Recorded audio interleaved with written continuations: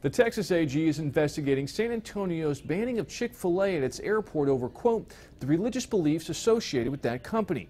State AG Ken Paxton sent a letter Thursday to the San Antonio mayor, Ron Nirenberg, and city council members, letting them know about the investigation. In a separate letter, he also requested the U.S. Department of Transportation open its own investigation.